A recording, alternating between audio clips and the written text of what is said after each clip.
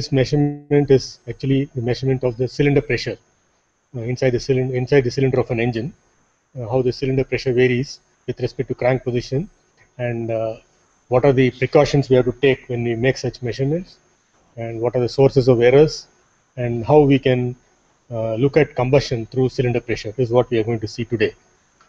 So this is not about engines, but about measurements in engines. So if you look at, I'll briefly look at uh, general measurements in engines, and then we'll go on in particular to cylinder pressure. If you look at measurement uh, that we normally do in laboratories, we do measurements for looking at the performance of the engine, like the speed, the torque, then the emissions like HCCO and NOx, smoke, particulates. Then we also look at, uh, at a next level, at an advanced level, we look at combustion. And uh, when we look at combustion, we look at combustion through cylinder pressure time data. And uh, cylinder pressure time data can give us information on combustion. For example, we look at IMEP, cyclic variations in combustion, the way combustion itself is occurring, that is heat release rates, and all this can be seen through cylinder pressure. We also look at combustion through other mechanisms like uh, the ionization probe data, flame photographs, fuel injection pressures, manifold pressure, and things like that. Then we may also want to measure simultaneously the valve timing, injection timing, and also other uh, other parameters like different temperatures and so on. From cylinder pressure, we also try to estimate knock, and knock is estimated through cylinder pressure variations at a very high frequency. We call this pressure oscillations, or even sometimes knock is estimated through vibrations which occur inside on the cylinder cylinder itself. We may also want to do sampling of the gases from within the cylinder so that we can look at emissions as a function of space and time. If it's a two-stroke engine, we can even look at scavenging efficiency through that. We may also go one step higher uh, into looking at the physics and looking at what really happens inside so that it can help us validate our simulation models or build better models of the combustion process. And for that, we may want to go to flow field measurements, cylinder flow field, that is looking at the flow inside the cylinder. And uh, for this, we would look at the mean velocity, the turbulence intensity, and so on. So there are different levels of measurements to which. And we may also do measurements which are basically aimed at control. And when we look at measurements aimed at control, uh, for example, we may want to control a dynamometer, we may want to control a um, fuel injection system, or we may want to control a diesel engine speed, or we may want to control the entire engine. In, uh, for example, if it's a spark ignition engine, we may want to control the spark timing, the fuel injection quantity, fuel injection timing, and even if it's turbocharged, turbocharger, so many things. So in all these cases, we end up in doing lots of measurements, and measurements could be of different levels, different accuracies, different kinds of sensors with different kinds of sensors, and so on. But we are today going to focus more on cylinder pressure. So if you look at engine research, you could have sensors which can be as as varied as this. On the left hand side, on uh, here we see uh, what is called as a single cylinder research engine, and it has it uh, it is an engine where you can practically change almost any parameter you want, like the valve timing, the fuel injection parameters, the spark time parameters, the coolant temperature, lube oil temperature, all fuel injection system system related parameters, turbocharger related parameters, and so on. And uh, the same engine could even have optical access, like what you see here. You can pass a laser through this. Uh, you can pass a laser through the uh, through a transparent portion of the engine and then see it. You see the transparent portion of the cylinder barrel here with the valves and all that, but that, that portion is not transparent. So you can look at the flow inside through this.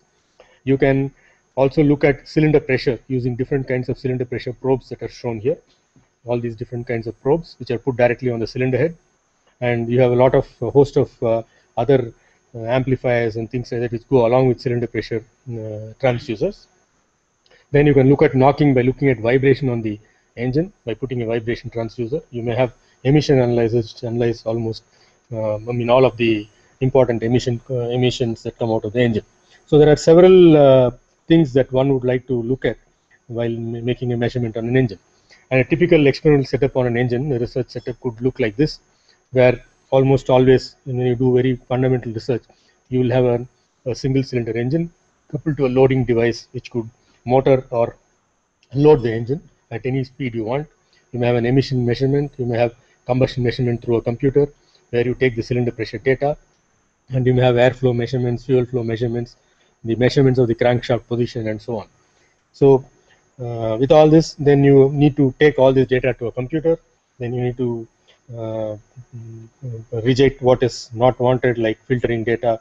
Then you need to see whether it's accurate. You need to calibrate, and then finally you need to do computations on that to arrive at whatever you want to see. Now, when it particularly comes to cylinder pressure, which is the focus of today's lecture, we use what are called as piezoelectric pressure transducers. The piezoelectric pressure transducers are used for the main pressure in the cylinder, which means that this is the heart of the entire measuring chain. And the piezoelectric pressure transducer is mounted on the cylinder head, and it gives you what is called as a charge output.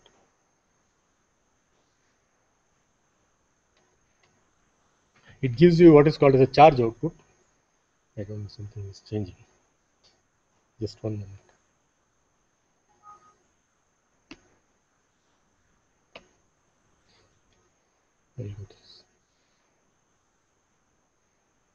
It gives you a charge output and this charge output has to be converted to a voltage using a charge amplifier. And this charge amplifier uh, accepts charge. It's basically a uh, capacitor which gets charged because of the charge. There's an voltage and then this voltage is amplified. And uh, the cylinder pressure transducer, the piezoelectric transducer has a problem which we'll discuss very soon. It can give only changes in pressure and and not the actual value of the pressure. So we need to make some calculations to get the actual value and we call this method of getting the actual value from the uh, from the change in pressure as referencing. Then you may need a high-speed data acquisition system to go along with cylinder pressure measurement, and you may want to measure the manifold pressure also along with cylinder pressure. Now, if you look at uh, the manifold pressure, see, when I say manifold pressure, uh, it is the intake manifold. And uh, the manifold pressure transducer is almost always a piezo-resistive transducer. Why it is a piezo-resistive transducer, we'll see later. And this piezo-resistive transducer basically needs its own bridge amplifier, which is called a carrier frequency amplifier. Then it has modulators and demodulators. And again, this signal also goes to a fast data acquisition system. and it is manifold pressure is measured simultaneously with cylinder pressure. Then uh, we, we have to measure pressure as a function of crank angle. That means pressure has to be expressed as a function of theta. And uh, for measure, linking pressure and crank angle, you need to have what is called as a crank angle encoder. And uh, these encoders are basically optical position encoders or the optical position detectors. And they give you pulses at exact crank positions, which we call as TTL pulses. And uh, the pulse comes depending on the position of the crankshaft and the frequency at which the pulse will come will depend on the speed at which the engine is actually running. So pulses come at various frequencies and these could be used to trigger when a measurement has to be made. So we call it trigger pulses for data acquisition. They could also be used as timing pulses for initiating certain events like fuel injection and things like that. So we'll look at these things as we proceed. Now coming to engine cylinder pressure as such, here you see uh, engine with uh, combustion occurring inside the engine and this combustion basically uh, and this combustion basically uh, is seen through cylinder pressure which we see here and uh, what we also see here is that the cylinder pressure can be affected by various things. Uh, for example the cylinder pressure could be affected by the combustion. Cylinder pressure could be affected by volume changes. Cylinder pressure could be affected by heat transfer and also by leakages. So you may want to put a pressure transducer here and here and get the value of the cylinder pressure and have a look at it. But then what you see would not only be the influence of combustion, but it will also be the influence of several other parameters like uh, heat transfer, volume changes, leakages, etc. And if you want to look at combustion from cylinder pressure, you have to remove all these effects. And these effects are removed through computations. So you need to have a computation model through which you can eliminate the influence of volume, influence of heat transfer, and influence of leakage, and arrive at combustion through cylinder pressure. So it is not only measurement, it also is analysis.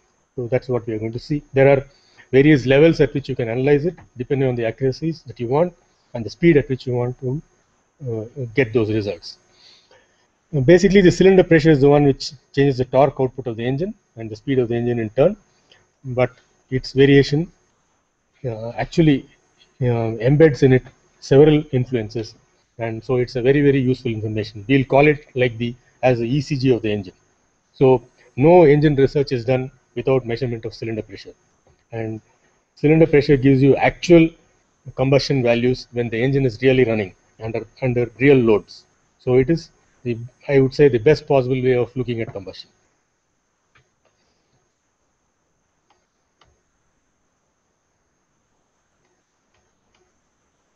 something's happening.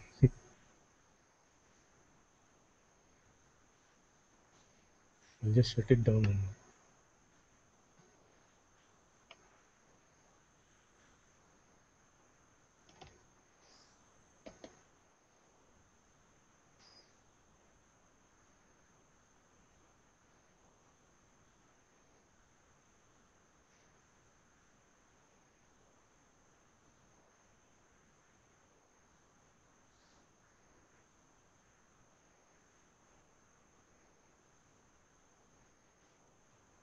Okay, then why measure cylinder pressure?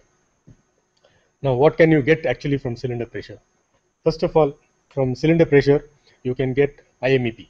We know that the P theta diagram can be converted to the PV diagram.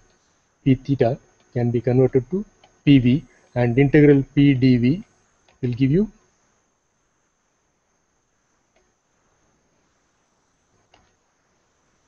the work of the cycle.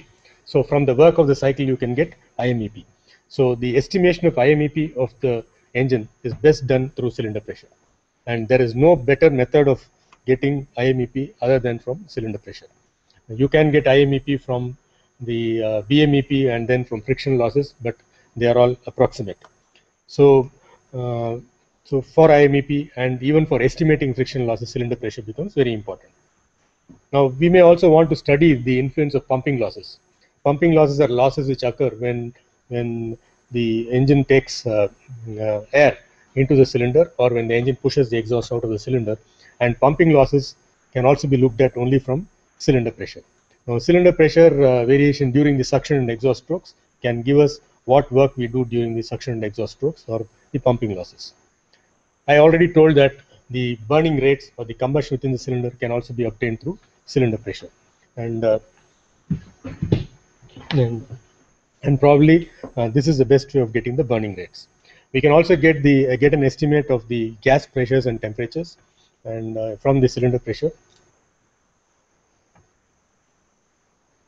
Mm, get an estimate of the gas temperatures and pressures from cylinder pressure and uh, this uh, would mean that uh, you can do use these values for design and knock identification or knock detection is best done from cylinder pressure.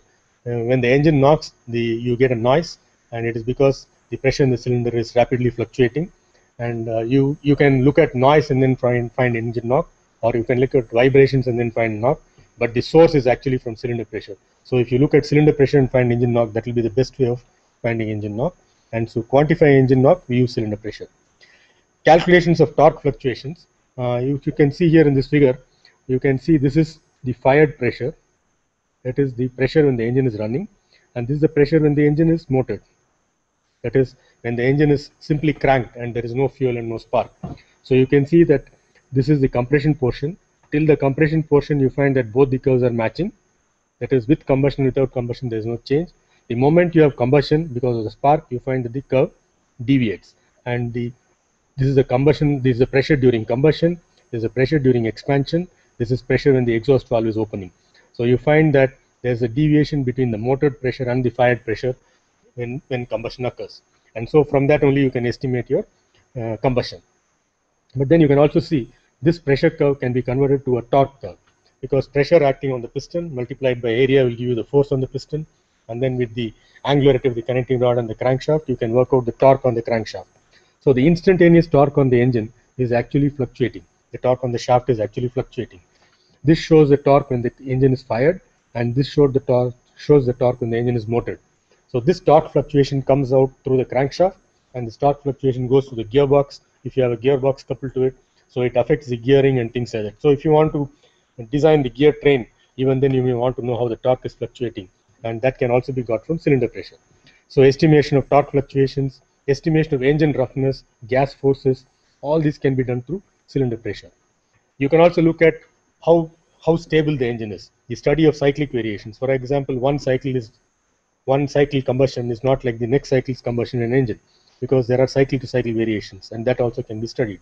You can also study man manifold wave action and many such subtle effects. So cylinder pressure gives you a whole wealth of data. Nice. Whole wealth of data engine. Now, how do we really measure? What do we really, how do we really make a measurement? What sort of a measuring system do we need?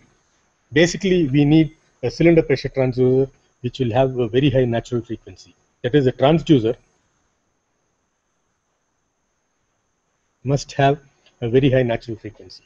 That means it should respond to very, very fast fluctuations in cylinder pressure. The natural frequency that we want uh, for the transducer will sometimes be greater than 100 kilohertz. And we need also a sensor which can withstand high temperatures because it's going to be directly on the cylinder head and be exposed to the combustion gases. It should be able to withstand, it should be able to take high pressures because the pressure can vary from ambient pressure to something like in modern engines, diesel, turbocharged diesel engines, they expect pressures of 225 bar. So nearly ambient or 4, 3 to 5 bar to about 225 bar would be the pressure changes. It should be able to do that. It should withstand high thermal shock because when combustion occurs, the temperatures suddenly go up. And again, when intake occurs, the temperatures suddenly go down. So it will be every time cycle within the combustion chamber. So it should be able to withstand thermal shock. It should yet be very sensitive. That means for a small change in pressure, it should give you a very high change in output. And it should be extremely linear and it should also be extremely accurate. These are what we expect from a cylinder pressure transducer. And if you can see, these are what you would expect from any transducer but the level at which you expect all this from a cylinder pressure transducer is extremely high. That makes the transducer very, very expensive.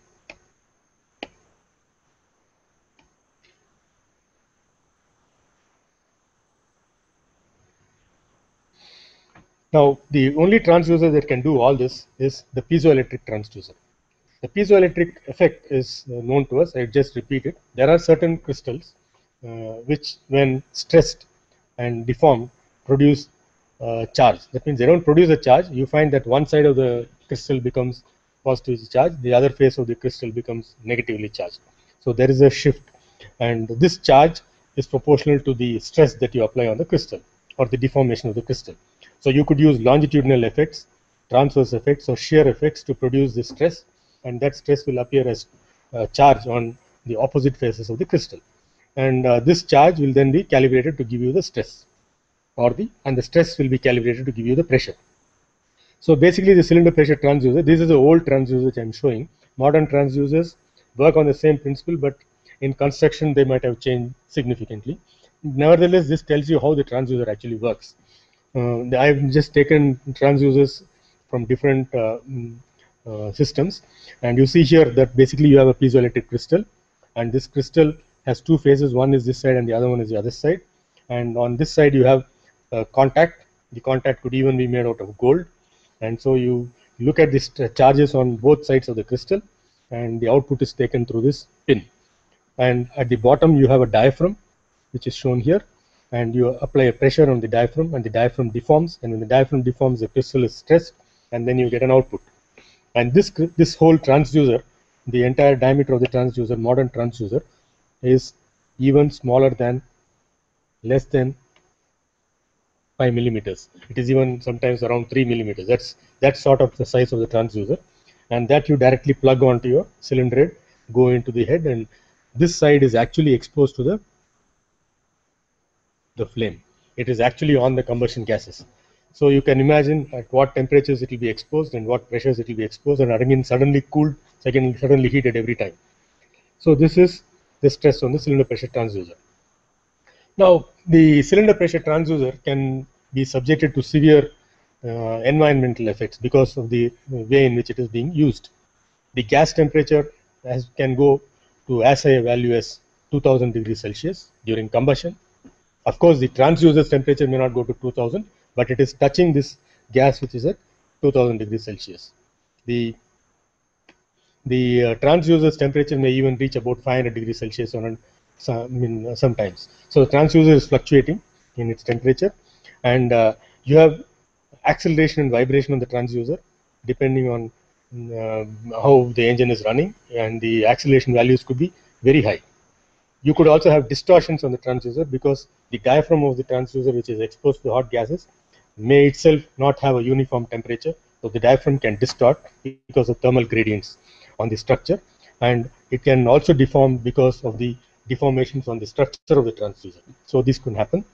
You can have thermal shock within every cycle the temperature changes. So it's subjected to a very, very severe environment and the worst possible environment. Apart from all this, you also have corrosion because you have hot gases and many intermediate chemical species. You use different kinds of fuels. So all this can happen. So here what you see uh, is uh, a typical cylinder pressure measuring uh, system and uh, uh, you see a single cylinder engine Uh, coupled to a dynamometer on this side. The dynamometer is here. And uh, basically we focus on the important aspects or sensors used for cylinder pressure measurement.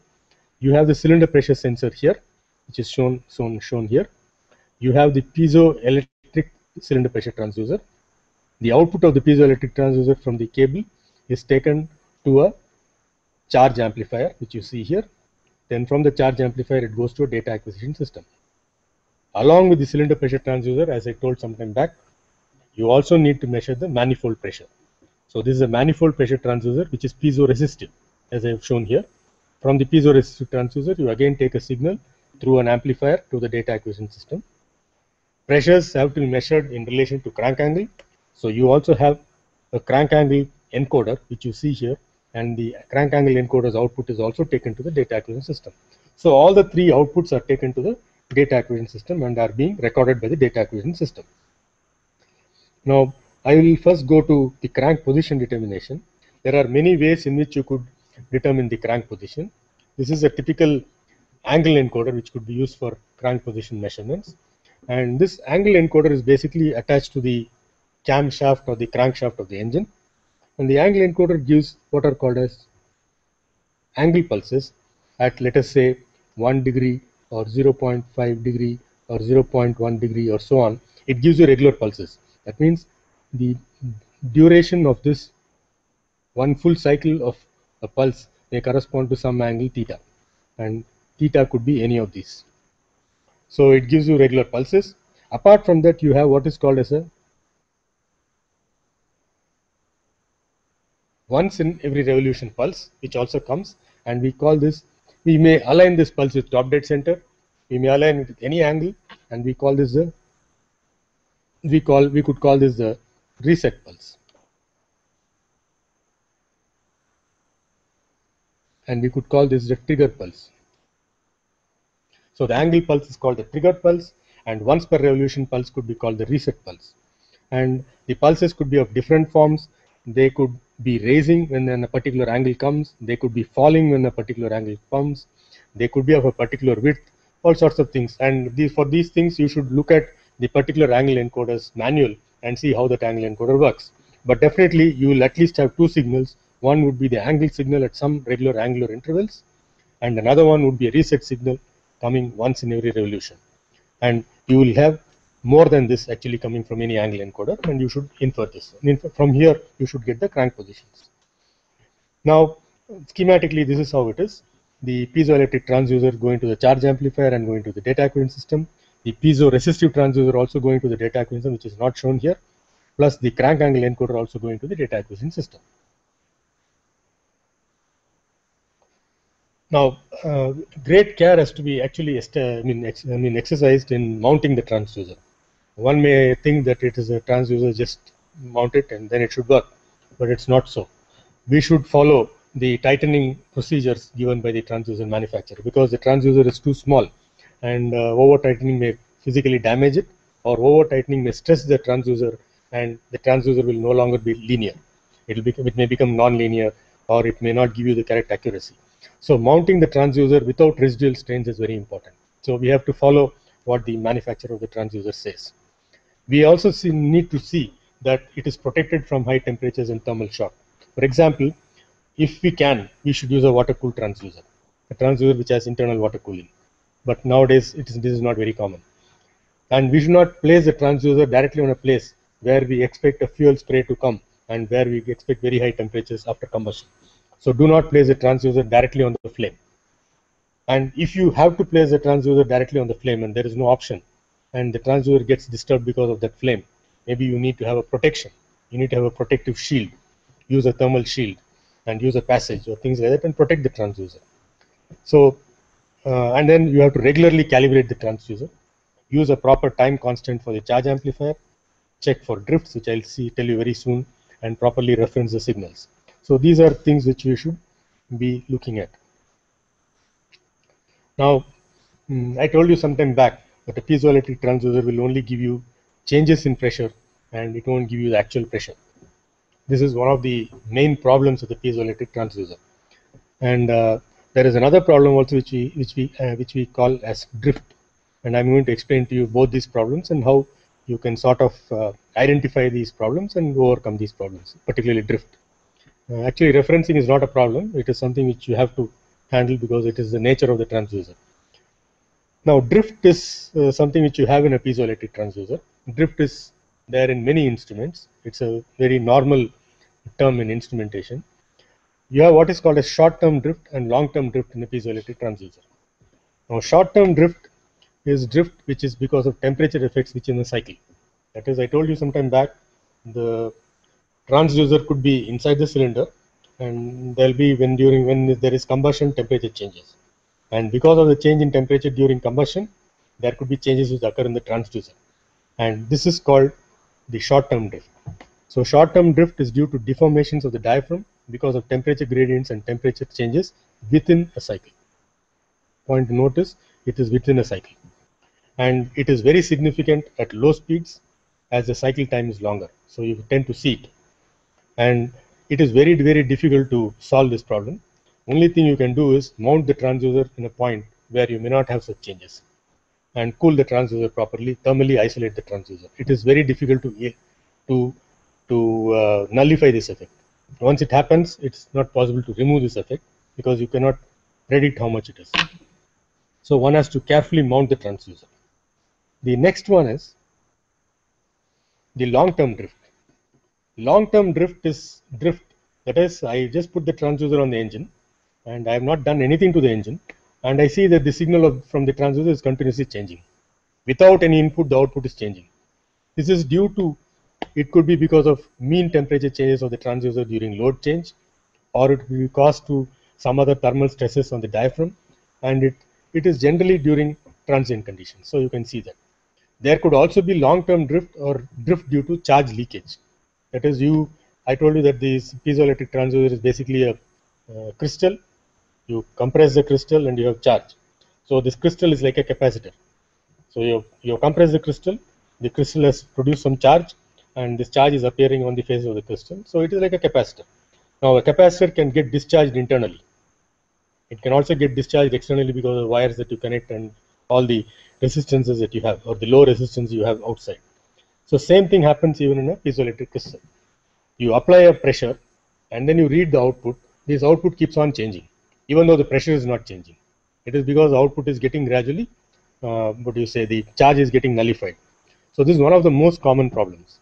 And the main reason is insufficient insulation resistance. It is not a mistake of the transducer, because the transducer would have been made properly.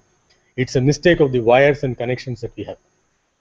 If the wires and connections that we have are dirty, cable ends, connections, wires are dirty, then you find that the insulation resistance comes down. Then charge gets leaked within the wire itself. And the only way to improve it is to clean and heat the wire. Clean and heat the transducer. It's only a, it's only a problem of cleanliness, that's all. And maintaining the transducer with a very high uh, resistance. So, but this is a very, very common problem. So when we make measurements using a cylinder pressure transducer, before we actually rely on the measurement, we should see whether there is drift. And there is no drift only, we should proceed further. And drift will be indicated by a change in output even when there is no change in input. It will be continuously changing. So we need to take it to an oscilloscope and see the signal when the engine is not running. Then how to mount the transducer the transducer has to be mounted flush on the cylinder wall. That means if this is the engine, the transducer has to be mounted like this. So let us say this is the this is the piston. and this is the cylinder head. And this is the piston. The transducer may be mounted directly on the cylinder head so that it is flush with the cylinder head wall. So it is all it is almost forming a part of the cylinder head wall and the gas pressure which acts on the cylinder head will also act on the transducer. So this will be the transducer. So this is the best way of mounting. But sometimes it may not be possible to mount like this. You may want to mount the transducer here. And uh, you the cylinder may be like this so thick. And you want to have a small passage connecting the transducer and the cylinder and this we call as a passage mounted. Then this passage length should be as small as possible. You should have a very small length for the passage.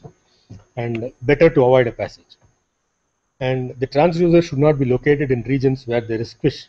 Uh, for example in this in this engine this is a squished region. So it is good to avoid the transducer being mounted here. We should not mount it here because in the squished region there will be intense flows into and out of the squished region. So this may not give you the right pressure. So squished region you should not mount. You should not mount it on the combustion chamber where knocking is occur occurring or near a place where fuel spray will directly come and hit it so when the fuel spray hits it the transducer will be cooled and then when combustion occurs it will become very hot there. So you should not do all that. So one if you avoid all this then you can avoid most of the problems with drifting. And the transducer must not be over tightened it looks like these are uh, some very very what do you say stringent precautions that we have to take. But yes we do have to take because the cylinder pressure transducer is so sensitive. And uh, it is so expensive also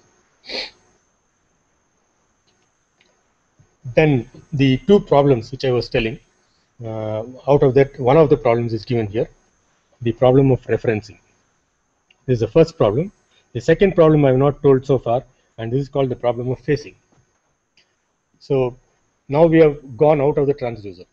Those are all things which were related to how the transducer should be used. Now it is related to how the signal from the transducer should be used.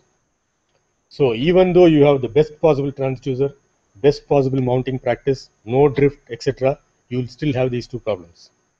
So this is a problem which any measuring person who measures cylinder pressure will experience. And uh, these two problems have to be corrected and how well you do it will finally reflect the reflect get reflected on the accuracy. Now, if you look at the two problems, one is called referencing and the other one is called phasing. Now, I will look at this separately. Referencing means that the piezoelectric transducer I told you some time back can give you a signal, but this signal has no reference. What do I mean by that? Let us say I have a, this is time and this is voltage. I have a signal which is like this. This is not a pressure signal, some arbitrary signal. And I have a voltage change of 3 volts here between them. When I say I don't have a reference, I only know that between this point and this point, A and B, the delta V is 3 volts, but I do not know whether A is 5 volts and B is 2 volts, or A is 4 volts and B is 1 volt. I only know that between A and B there is a difference of 3 volts. So this kind of a measurement is measurement where you have only the relative changes, you do not know the absolute value. A, uh, VA could have been 5 volts, VVB could have been 3 volts, or it could have been 4 volts and 1 volt. Sorry, 1 volt. The fluctuation in voltage is correct, but the actual voltage you don't know. So this is what we call as relative measurement. The cylinder pressure transducer gives like this for pressure. It can tell you from minimum to maximum what is the pressure change, but it cannot tell you the pressure at any point. That is because it of the nature of the transducer. The transducer can give you a voltage, any voltage when the pressure is not when uh, at when you turn on the transducer, and thereafter the change in voltage will measure the pressure change in pressure. But when you turn on the transducer, whatever is the voltage is the voltage. It is not a mistake of the transducer. That's how it works. So you get only change in pressure, and from change in pressure, you have to get the pressure. That means at some, let us say I know the I know the voltage here, I know the voltage everywhere. Suppose I know that VB is 1 volt, I know automatically that VA is, I know automatically that VA is uh, uh, is 4 volts. So if I know VB, I can get VA. So it is how do I know VB is a question. So, so VB, when you make a measurement of cylinder pressure, you do not know any voltage, any, any, any pressure. So you have to estimate one pressure and every other pressure can be got. I need, I want to uh, underline the word estimate here. You are only going to estimate. That means it is really not correct. You are going to assign some pressure somewhere and from there you will get every other pressure. So it is it depends on the user's experience and the and the method is going to use and his knowledge with which you can assign the right pressure to the right point. So so pressure measurement also depends on how well you do the measurement. It's not simply that you plug and you get. Plug and you will get. There are many ways of doing it. But still, if you want extreme accuracy, then the involvement of the user is very important in cylinder pressure measurement. Sorry? With experience, you can do better measurements. I won't say without experience you cannot do. You can do because there is a lot of software which can help you and all that. But with experience, it can definitely be better. That's what I want to say. So how do we do it? We'll just see it very soon. This is one, one aspect. The second aspect is proper phasing of the signal. I have pressure. Now any any anything is coming as a function of time. So I'll, get pressure as a function of time from the transducer. I'll also have theta as a function of time because angle encoder is giving me theta as a function of time, pressure as a function of time. But I want pressure as a function of theta. I have to write, link the right pressure with the right theta. So I should know that when my angle, when my theta is coming and pressure is coming, I should know what pressure is coming at what theta. This problem is called phasing. If I assign a wrong theta to my pressure, then everything is wrong. I'll be continuously making mistakes. So how you connect this is also very important. That is called phasing. The problem may look very simple, but uh, it is complex actually. Suppose I have an angle encoder and I have not fixed it exactly at top dead center. Then I continuously get an error. What I am thinking as top dead center is never top dead center. So every angle is wrong. So this is uh, this is uh, this is a this is an error. So pressure signals have to be associated with the correct angle. All instruments make measurements only at time, not in crank position. So hence methods have to be devised to counter this problem. So you need to link them, measurement of time and measurement of crank position. So crank position has to be properly uh, fine, hmm. assigned. Now we will go back to both the problems. First we'll go to the first problem which is called referencing. How we solve this problem. There are many methods. I'm not going to go through every method. I'll just give you an indication of how this can be done. Others you can always read up or you can also ask me. Now, one of the ways, uh, as I just now told you, uh, I'll again draw this and show you. This is pressure, this is time. I'll call this is uh, pseudo pressure. This is not the correct pressure. Simply I got a pressure value from the signal and I got it like this. Now, and when I when I check this, I'm saying I'm when I take this point, it is coming as 5 bar. I know that it is at this point, if I know properly, it has to be only 1 bar and it should not be 5 bar. Let us say I know it already. Then what I will do is I'll shift this curve down everywhere by 4 bar. So this point will become 1 bar and every other point will be proper. So this method of shifting this is called as referencing, which means that somewhere in the pressure curve, I should know the pressure. And how do I measure that? How do I know the pressure? When I'm not, when I'm myself measuring the pressure, I do not know the pressure.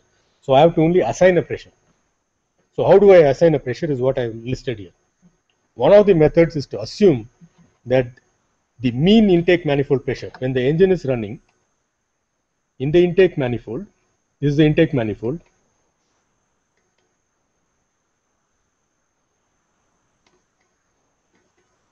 the pressure in the intake manifold is equal to the pressure in the cylinder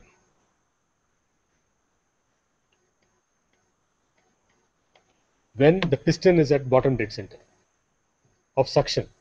Imagine when the piston has gone from TDC to BDC and gone to the bottom dead center, end of the suction process, and at the end of the suction process, intake valve is open because intake valve closes after BDC.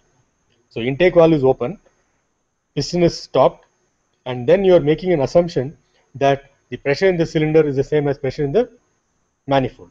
This may not be a completely correct assumption, but it is a reasonably close assumption. Valve is open, piston is stopped, so cylinder pressure is equal to manifold pressure because the valve is communicating between them. So this is one way. So then what you do is on your pressure curve, go and search where intake BDC has come. At that point, you see whatever was the pressure. If it was 5 bar and you know intake manifold pressure is 1 bar, subtract 4 bar from every point in the cycle. Then your entire curve shifts down and you get the right pressure. This is how you do referencing. So one way is to assume that the mean intake manifold pressure is cylinder pressure at BDC or the mean exhaust manifold pressure is equal to the cylinder pressure at TDC.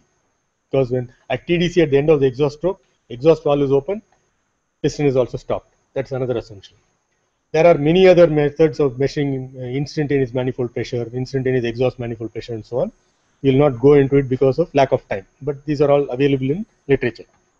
But you should, uh, I think one should understand why we are doing referencing and one should understand that we cannot avoid referencing because the transducer works like that.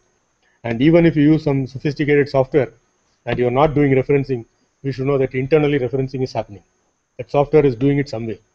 And if you do not know how it is doing, we may not know whether it is the right method of doing for your engine. So we should also know how it is doing. So the next problem, I, and the referencing I'm showing graphically here. Uh, see, this is the intake pressure. What I'm trying, and this is the manifold pressure. I know that the manifold pressure is equal to the cylinder pressure at BDC, and that is the error which I showed here. And this error I'm going to correct and make it zero. So what I'm actually doing is shifting this to like this. I'm going to shift the pressure curve like what is shown at the bottom, down, down, and make it match with the intake manifold pressure. And once you make it match with the intake manifold pressure, then the entire pressure curve is proper. Now, whatever your pressure readings you get on the y-axis is are okay. But the assumption is that this pressure is equal to manifold pressure. So now you are separately measuring the. So this also has to be measured by you. Separately, we'll measure that and put that value on that pressure. That is why we sometimes use a piezoresistive transducer to measure in the manifold and put that value on the piezoelectric at that point. But one may ask why not put the piezoresistive itself on the cylinder? But piezoresistive cannot withstand such temperatures. The only known transducer today for measuring cylinder pressure is piezoelectric. And that has been there around for at least I would say maybe 50 years. And nothing to replace it. has improved tremendously, but I don't think it has been replaced. So I hope uh, this point is clear.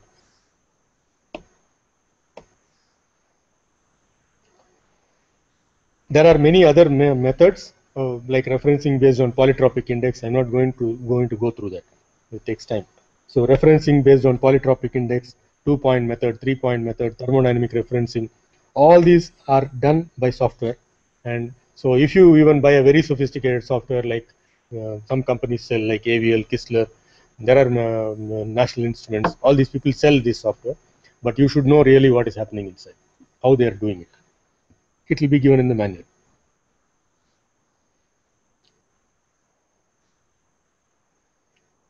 Now, I have not still talked about phasing I told you phasing is assigning the correct crank angle. I'll tell you how it is done later. But let us now uh, recollect that the errors that you can have are referencing errors, short-term and long-term drift errors, inherent electro electromagnetic noise or other noise that can come into the signal, then sensitivity errors. You have, you have assigned some wrong sensitivities. The, uh, the instrument is actually has a different sensitivity, passage effects, and then systematic errors. So all these errors would, could come and we should be able to eliminate them. But some of the errors you can see and see the result and then find out that this error is there. And that's what I want to bring to your notice.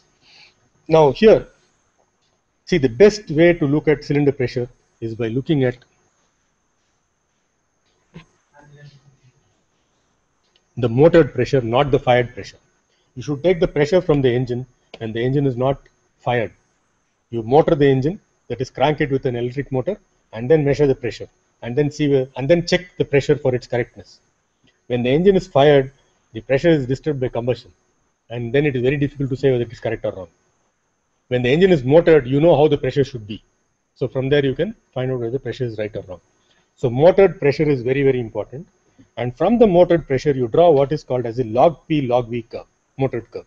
That is, you take P versus theta and from here you put LNP, V and plot log P versus log V data. And then this log P versus log V data, you plot like this During the compression process, it is a polytropic process. Compression process is PV power n equals constant. Expansion process also after combustion is PV power. You can approximate it by PV power n equals constant. Of course, this will be n1, this will be n2, some other n. Now, if you have a process which is PV power n equals constant, if you draw the log P log V curve, it will be a straight line. And n would indicate, n would be related to the slope. So, if I draw the log P log V curve and I get absolute in straight lines, as you can see here, then you find that the pressure diagram is properly phased and properly done. If it is not coming first of all like this, then you know something is wrong. From the diagram, you may be able to estimate what is wrong. You may not be able to estimate how much it is wrong, but what is wrong you can find out. For example, if I make an error in phasing, I wrongly assign top dead center, you can get a curve which is crossing like this. The log P log is crossing. The moment it crosses, you know there is an error in the phasing. That is something has been wrongly assigned. Or you may get an error which is which is there the uh, line is not straight and it is bulging like this at the center. It is it is instead of going uh, straight, it is bulging. So one line is like this, the next one is like this, like this. It keeps on bulging with error. So if you have a bulge like this, then you know again there is a phasing error. So this would be immediately telling you about phasing errors. These are all actual diagrams which are where I introduce the error and plot it. Then you could have referencing errors. That means where the pressure value is not properly given. You gave a wrong value. And referencing errors are not seen at high pressures, they are seen at low pressures. Uh, if I have a cylinder pressure diagram, and this is let us say 100 bar, and this is let us say 1 bar. If I do an error in assigning the right pressure, the error will be felt more at 1 bar than at 100 bar because the a 0.1 uh, bar error over 100 bar is small. The 0.1 bar error over 10, 1 bar is very high. So you will find that if you have errors in referencing, the curve becomes curved at low pressures. The curve is not curved at the, the line is not curved at low pressure, high pressures, the line is curved at low pressures. So the referencing error starts dominating at low pressures. You can see it here. On the other hand, you give an error in clearance volume. That is, I have wrongly assigned compression ratio. I didn't put the clearance volume properly. Where is the volume minimum? Near top dead center. And any error in volume will dominate near top dead center. So you find that the curve is, the, the line is bending near top dead center. Below that it is straight. So by looking at this, you can know that something has happened near top dead center. And what can happen near top dead center will be volume rather than pressure. Because pressure is very high, volume is very small. Here what has happened is at low pressure, so what can affect is pressure rather than volume because volume here is very large, pressure only is low. So like this, by looking at the cylinder pressure curve, it will be possible for you to sort of find out what was error. The next error, uh, next thing which I told you about, I did not go further, is the phasing. So determination of top dead center. So in an engine, you should first of all exactly determine top dead center and put the angle encoder in such a way that the pulse coming from the top from the angle encoder which is voltage versus time, exactly raises at TDC. So first of all, the engine must be physically put at TDC, angle encoder must be adjusted so that exactly at TDC it gives me this pulse. Then the system will recognize. So there are many methods of exactly determining TDC. And uh, there is also what is called as a thermodynamic method which many software will use. That is you simply run the engine and switch off the engine. But the engine is simply cranking and stopping where do you think the peak will occur? In a motored engine. Not firing, simply motoring. I am talking about an engine which is cranked and uh, there is no combustion. Pressure will raise and then it will fall. So you will simply have the pressure curve which will go up and go down. This is time, this is pressure. And where do you think this, this thing will occur? Will it occur at top dead center? Where the volume is minimum, we will think it will occur at top dead center because volume is minimum, pressure will be maximum. But what really happens is this occurs slightly before top dead center. The pressure maximum actually occurs slightly before top dead center and this how much slightly would be something like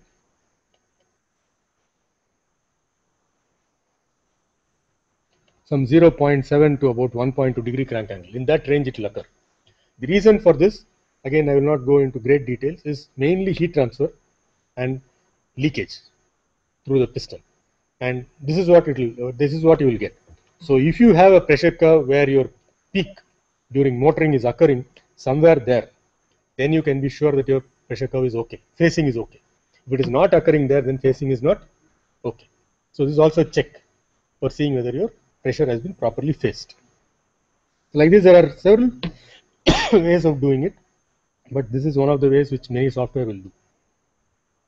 Next, I will move on to the calculation of heat release rates.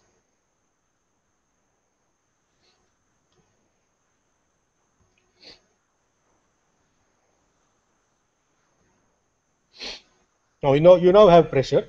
You now basically have pressure versus theta. From there you can get pressure versus theta and you know, sorry pressure versus volume. So this this is this is what you have and this is what you computed pressure versus volume. And from pressure versus volume you can get work and so many other calculations. This is what we are going to see now. Now we are trying to get the combustion And what do we mean by combustion? The rate at which combustion is occurring, combustion rate. And how do we express combustion rate? In joules per second or joules per degree Crank angle. That means combustion is releasing heat. It's a, it's a notional thing. Combustion is releasing heat at this rate. And we want to know at what rate it is releasing. And whenever heat release has started, we say it is start of combustion. Whenever heat release has stopped, we say it is end of combustion. Whenever 50% of the heat has been released, we say it is half of combustion. So we would like to know how combustion is proceeding. And to determine how combustion is proceeding, we are now going to extract the information from cylinder pressure. I'm going to tell you how this process can be. Now for extracting uh, combustion, first what we do some assumptions, we do some, because it is, it is hidden in pressure. As I told you, there are many effects which are hidden in pressure. We have to remove all the effects, then we can look at combustion. So we need to do some sort of modeling of different processes. So I'm just telling, trying to tell you a very simplified model you have more complicated models, but this model also works very well. Now what we do is we assume that combustion is occurring, we assume that combustion is occurring outside the cylinder. One minute please, let me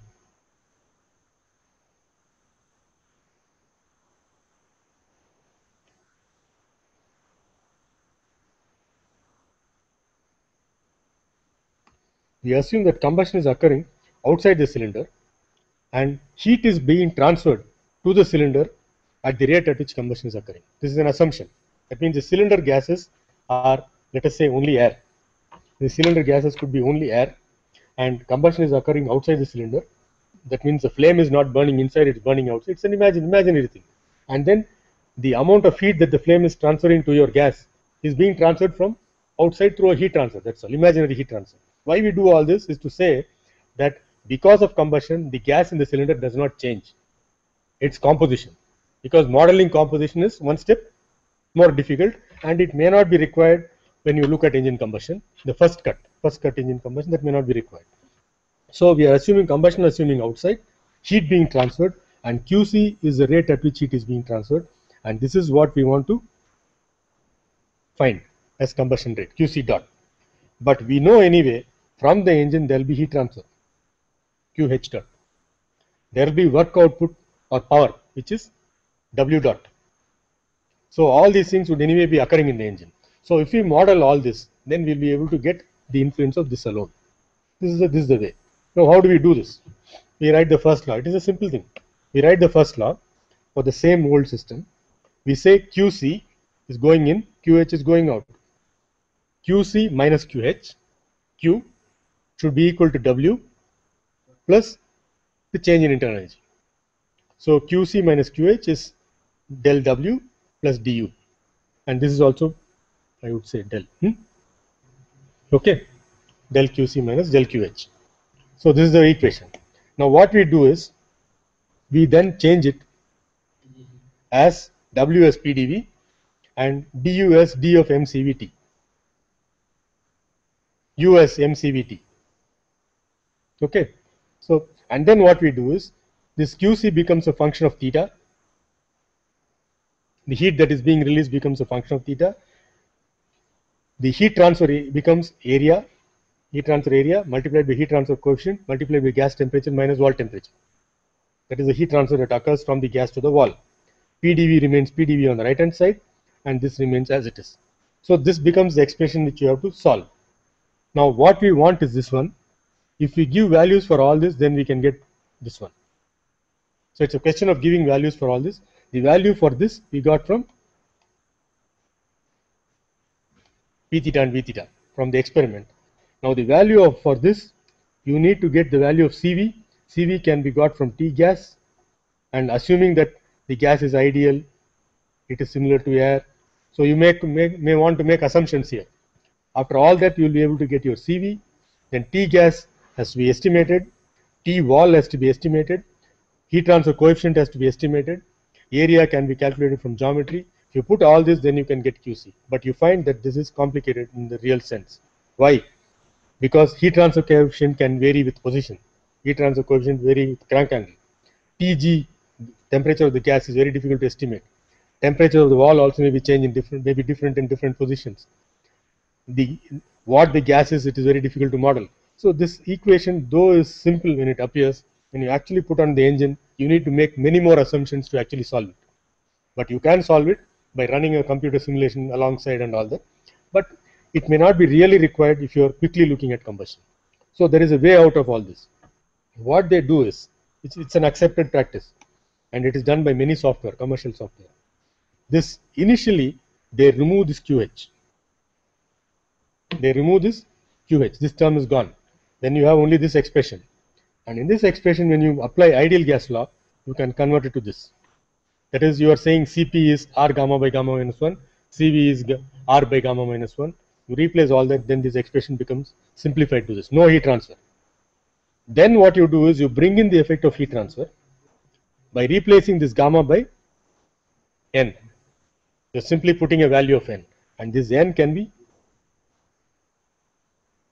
estimated, assume somewhere around 1.2 to 1.3 depending on the combustion process, depending on whether it's a diesel engine and all that. You can plug this value of n and then try to calculate QC by del QC by del theta, which is the heat release rate. So this is what is called as fast heat release. It is it is approximate. One has to remember that this is approximate, but this is fast. It is quick. No no big assumptions.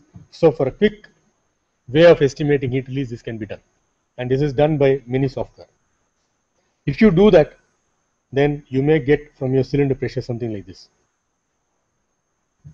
You can get on the right hand side, you get the heat release rate. This is a typical diesel engine heat release rate. So from pressure, you will be able to go to the heat release rate. From heat release rate, you can go to cumulative heat release. This is called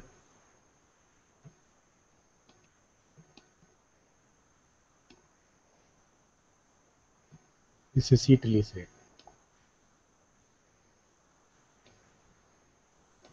So you can get both. So from pressure versus theta, you go to this one and then from this one you go to this one. And this tells you how combustion has occurred. At what rate is? This is actually joules per degree crank angle. And this is joules. So you can see how combustion has really occurred from the actual engine. And as the engine is running, you can look at you can be looking at combustion. Suppose I take make a change in the injection timing or something like that. What happens? All these you can actually see. So this is uh, what we mean by cylinder pressure to its analysis to give heat release rate.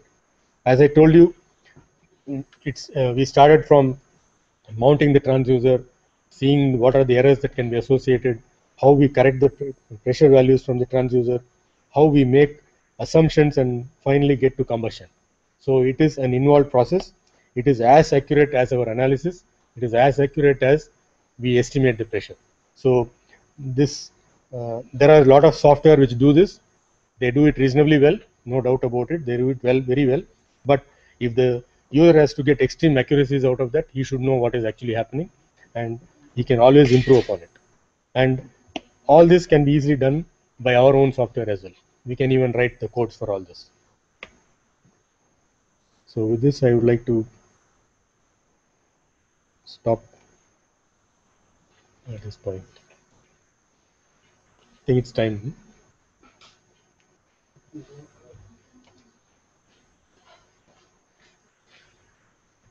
So we had gone somewhere. It's possible. So I quickly wound up. I don't know. Yeah. Now I will just you will.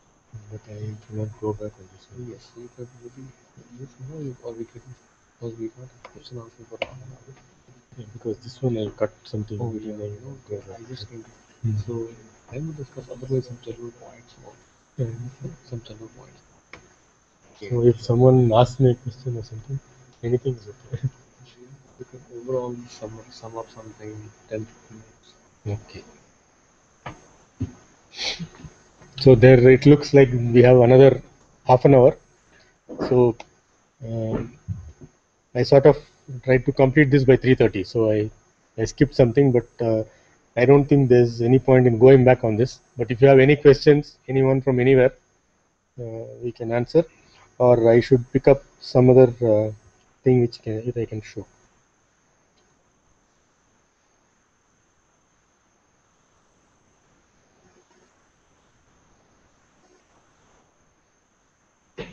Hello. Hello. Yes. I am from YMCA University of Science and Technology, Faridabad. Yes, please. Yes, please. Uh, in uh, cylinder nowadays, the pressure is quite high, Yes. and uh, there, there may be chances of uh, leakage through piston or piston rings. Yes. So, uh, what improvements in the design of piston rings we are doing nowadays to avoid leakage?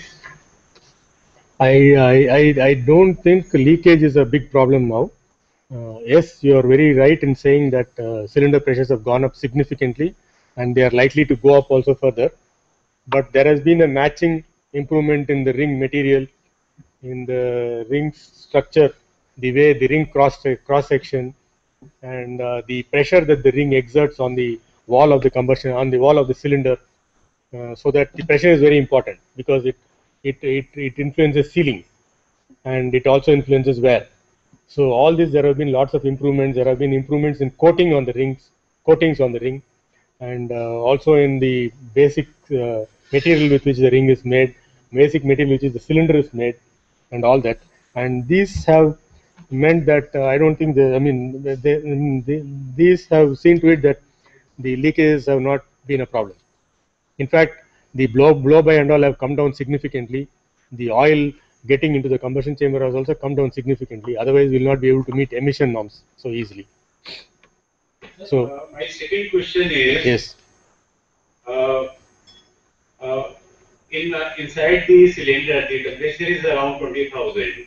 not not 20, 2000 maybe maximum 2000. 2000. 2000. Yes, And uh, we are putting a transducer uh, and temperature rise up to uh, 500 degrees centigrade, as you were saying. yes, yes. Sometimes it can go. Yes, Uh, but uh, in my opinion, if a vehicle is uh, going, uh, traveling a lot of distance, Hmm. many times we have a long journey. yes. So in that case, the uh, temperature rise may be more and transducer may be melted. Actually, uh, two things. One is these cylinder pressure transducers are not used in regular, not for regular applications. These are used only in the laboratory because these are pretty expensive. If you look at any transducer today, uh, only cylinder pressure transducer, without all the other things, the transducer could be close to one and a half to two and a half lakhs. So it is impossible to use it on a vehicle. And along with that, you have a charge amplifier, your data acquisition, your angle encoder, manifold pressure. So it is not a system. We, whatever we have discussed now, it not it's not a system which will be used in the vehicle. But people are looking at using cylinder pressure transducers in the vehicle. That's a different thing. So that apart, uh, coming back to the real problem, the engine combustion temperature can go up to about 2000 degrees centigrade, but it is for a very short time. Only when combustion is occurring and it is a, and the pressure at is at its maximum. Afterwards, the temperature falls. That is why even though the gas can go up to such high temperatures, the cylinder pressure transducer surface sometimes can go only up to about 500 degrees Celsius. But the crystal within within the cylinder pressure transducer may not go even to this 500 because it is behind this, and there are a lot of precautions taken to see that that doesn't go up to these temperatures. So the point to note is that these temperatures are not always reached, and these temperatures can be managed with the present present kind of transducers. Secondly, these temperatures are not limit- related to the time of operation. It may occur even if the time of operation is very short, but your load is very high. So because you will be burning a lot of fuel and the temperature can go up and go down. So that's how it is. And uh, one more thing is that it is not for regular use. It is only for laboratory use. Look at Thank you very commercial. much. Thank you. What will be the total cost of this setup? The total cost of this setup, uh, I, I mean, I, I mean, I don't, I cannot give you commercial because I'm not competent to give, and we are also buying. I know only the cost at which we normally buy. So, as I told you, the transducer could be anywhere between the kind of transducer which you buy could be anywhere between one and a half to two lakhs. Of course, the uh, it is what the companies offer, and uh, the then you have a charge amplifier which could also be expensive, maybe something like I, I guess it would be something like fifty thousand to one lakh. Then you have an angle encoder, and there are different kinds of angle encoders available, and they range from even say twenty thousand or fifteen thousand to three lakhs. So if if the user is competent and if the user has a feel for things, you can work with this twenty thousand angle encoder itself. If the user is just going to take it and plug it and just wants to work, then he naturally goes for a very costly trans um, angle encoder. So if you are comfortable with electronics and instrumentation, then you could go in for devices which are less expensive and use them with the same accuracy. I don't say accuracy will suffer because you know how to use them, so you can do use it better. So the angle encoder could be something like 20,000 to even 2 or 3 lakhs. The sensor would be about 1.5 to 2.5 lakhs. The charge amplifier around 1 lakh. And then the, uh, the manifold pressure transducer could be around 50,000 to 1 lakh. Then you have your data acquisition system. And data acquisition system depends again on what you want to do. For example, in our lab, we normally, at least our research students, have never been buying this data acquisition system. We have always written our own software to acquire data and process and do all these heat release calculations. And then we only buy a, a data acquisition board and fix it onto the lap, the, to fix it onto the computer. The data acquisition board will come for about 50,000 rupees. So you plug it into your computer, write your own software, you get a data acquisition system which is now worth maybe 10 or 20 lakhs and you can use it. And the software is yours and you know what it is exactly doing. So this is one way. I think uh, as academics, we should look at writing our own software because we understand what is happening and this is not too difficult to do, in my opinion.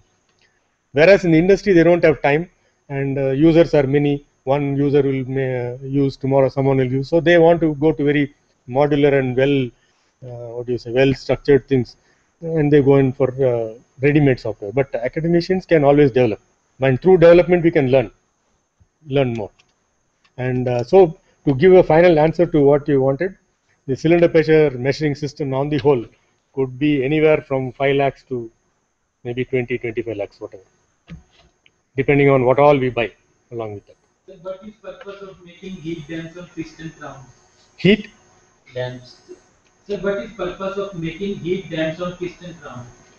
I don't understand what you mean by heat dams. If I, if I, I'm just only guessing. Are you looking at those uh, sort of rings that I mean grooves that are cut? Sir, the question is right, written right here. What is purpose of making? Somebody has typed in the question. Oh, you typed the question. Somebody has typed in the Okay. If I if I if I guess uh, it is those kinds of grooves that you make, and then it is simply to see that you don't transfer heat to the skirt of the piston. That means you create a sort of a restriction to the flow of heat by reducing the heat transfer area, cross sectional area. So conduction reduces, so your uh, Uh, base of the piston or the skirt of the piston doesn't get heated significantly, and you transfer the heat directly from the crown to the wall of the cylinder. That's what I guess. Sir, is there any software for testing the performance of engines? Performance of the engine.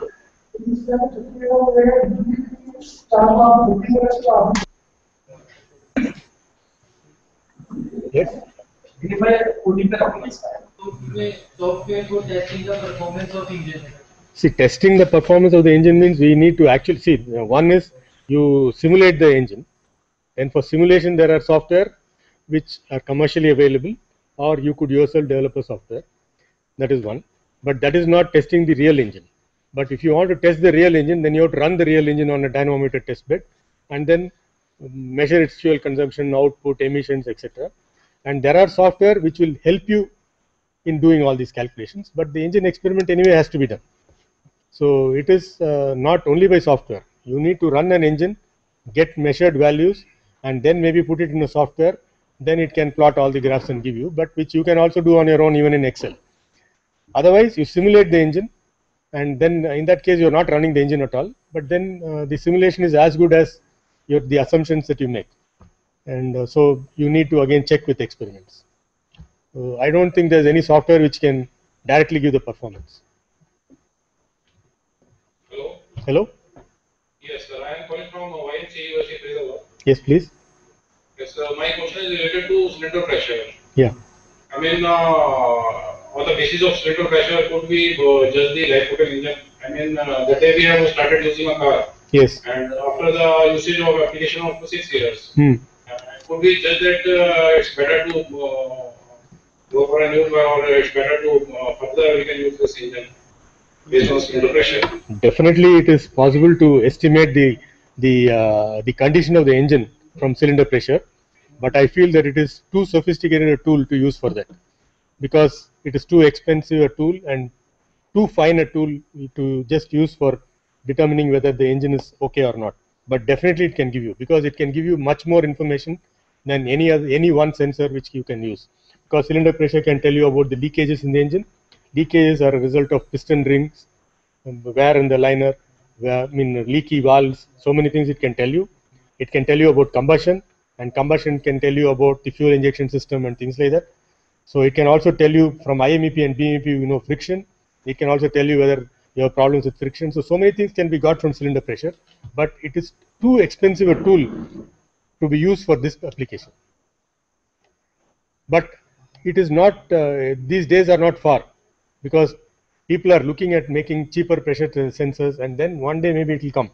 And even now it is used on very very expensive engines. If you have a very big uh, let us say uh, genset engine the engine itself costs uh, let us say a few crores or even maybe tens of crores then it may not be a problem to put a cylinder pressure transducer and keep measuring the cylinder pressure all the time to look at the life of the engine. It is being done. It depends on but in an automotive engine the engine itself would be some 2 or 3 lakhs and then uh, transducer would be equally expensive or even more expensive so it doesn't make sense at the moment Thank you, sir. Thank you. thank you Are there any measure to con- com- encounter drifting transducers? any major To encounter encounter drifting transducers? yes yes yes Drifting transducers you can we ex- i mean uh, my personal experience with our students we they have our students have experienced drift very often. In fact drift is very difficult to the drift because of unclean transducer or unclean wires is very common and uh, it is very difficult to eliminate also. And uh, if you if you maintain the entire transducer very clean and neat then you can avoid drift. Otherwise drift comes and it takes quite a bit of time to correct it. Thank you, sir.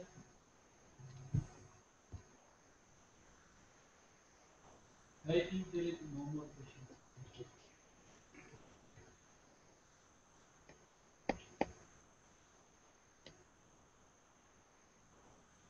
We could otherwise interact with them. Any other thing you would like to know? I, and uh, these are, I will- these are people from engineering colleges, Yeah, teachers. yes, yes, yes. And I also want to uh, uh, maybe use this opportunity to tell something. Uh, as you all know, uh, you have what is called as QIP, the Quality Improvement Program, and uh, there are many IITs, NITs, many other engineering colleges which are QIP institutions. In fact, uh, all all the IITs are QIP institutions, and I think all the NITs are also QIP institutions. So I would uh, definitely uh, wish that those of you who are trying to pursue your masters or doctorates, please make use of this QIP because then you can go to good institutions and do your doctorates, and then you can um, academically it will be very good and uh, very fruitful for you. So please consider going for QIP, and uh, even if you have done your PhDs, please encourage your friends who are in academ- academics to uh, make use of this opportunity. The, the government is spending a lot of money and um, making available this QIP opportunity. So please do make use of this. I would like to appeal to all of you. So there are a few more questions. One is that uh, uh, is the combination of four to four stroke and two stroke engine possible with EGR?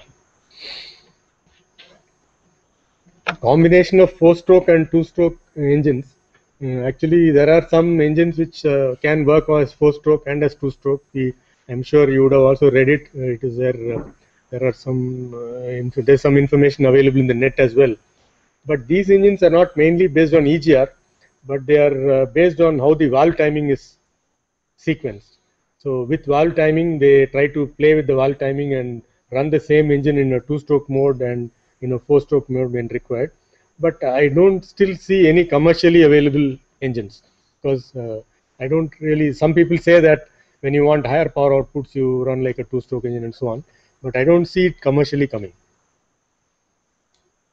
There's another question. Uh, what are the new research areas in this field? Any specific you would like to share? Okay. uh, the new areas in this field. Uh, one is if you are looking at, uh, I would like to say what what we are what is happening now. See, one of the important things that is happening uh, is that there is a lot of electronic controls and things like that getting into engines. Now, as uh, Professor also know, in robotics, now in engines also it has almost become like that. And uh, and without the ECU, there is no engine which runs. And so when you when you do research, it now becomes very important for you to know how these electronic controllers work and what they can do for you. We don't have to make an electronic controller, but we should be able to use an electronic controller very well, or tell an electronics person what we want exactly, because ultimately it's doing something which a mechanical engineer wants, and so the right information is given only by the mechanical engineer. So I I want to first impress upon you that it is important for us to really go a bit deep into instrumentation and uh, the digital electronics, which we have already done at our undergraduate level. That is enough. I don't think we need to do anything new. If we are, if we are confident of that, I think we can do a lot better in what we want to do in engines. That is one. The second thing is once we know that, there's a lot of opportunity opportunity to work with engine management because now engine management is a very very important thing. So uh, you want to manage every every aspect of the engine. You want to manage how the fuel injection system has to work, or how the turbocharger has to work, or how the uh, cooling system has to work, and uh, how the injection has to be scheduled, and things like that in any engine. And uh, to if you want to do that, you may want to make a model of the engine, then study how the engine performs, and then try to have a model of the controller, link it to this, and then try to run and see which is the best way an engine has to be operated. And is a good area for research. And for doing that, you should be comfortable with engine modeling, that is thermodynamics, engine modeling, and things like that, and also be comfortable with a little bit of electronics and software. And software means writing codes. And this is something which would be very useful. I'm sure I, I wish to also tell this that everyone should venture into this. In future, it is important. So we should not think that we are mechanical engineers and electronics is difficult. I'm sure it is not difficult. You have to get into that. Then we can do a lot. That is one. Secondly, looking at other areas of engines itself, hardcore IC engines, uh, you know that one of the areas is homogeneous charge compression ignition, HCCI. And HCCI has, it's a research area. I wouldn't, I wouldn't say that it is an area of where people are trying to commercialize. All over the world, people are working on this homogeneous charge compression ignition to, to see to it that it can be practically implemented or it can have some uh, practical applications.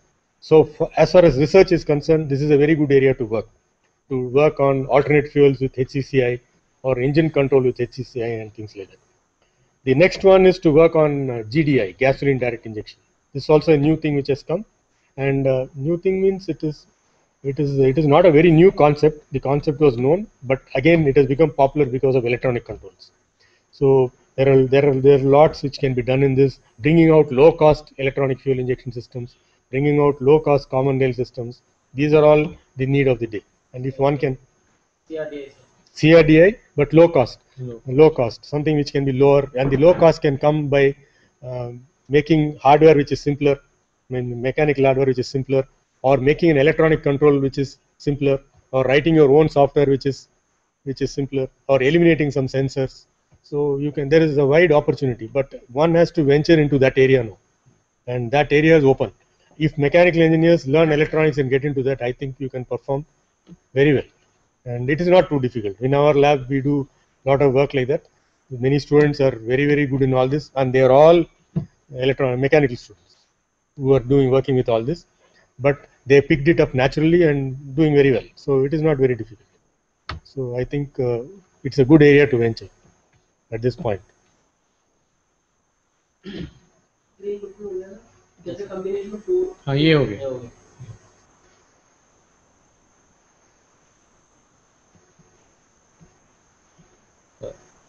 So I would like to uh, share, as Sir said, that uh, because as mechanical engineers nowadays, whether you are in the field of IC engines, uh, manufacturing, automation, any other field, we have to make use of sensors and instrumentation and controllers. And we, because we don't have to design those systems, we should have the knowledge of the availability of different type of sensors where they can be used how they can be used how can we use the controllers? So i think that knowledge is sufficient for mechanical engineers and it is not difficult to acquire it.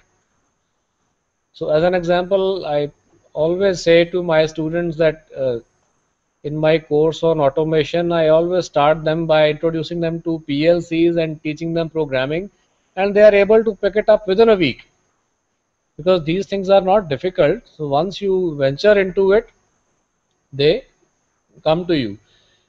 Another thing is that because in mechanical engineering we are always uh, uh, thinking at a uh, physical level right? Not at a microscopic level like in electronics or otherwise. So maybe we are able to visualize things better than people who are from electronics or electrical. And the best Yeah. software that is required for mechanical engineers can be written only by mechanical engineers. yes yes. Because all others can write by your telling them what Yeah. you want. what you want. But if you if you yourself can do it, you can do it at the uh, best possible way.